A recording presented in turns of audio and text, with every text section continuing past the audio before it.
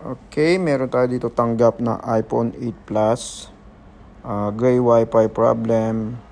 Check muna natin kung gray talaga siya. Yan, gray siya. Hindi siya ma-open yung Wi-Fi settings para may connect sa Wi-Fi na available. So, let's go. Gawin na natin.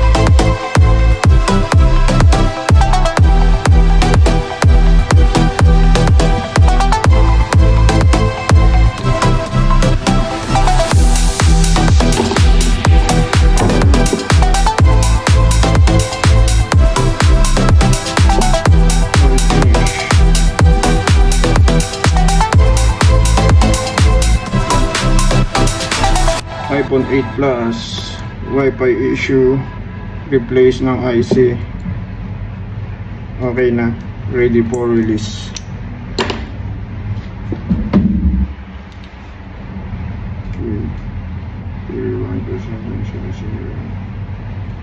Wi-Fi goods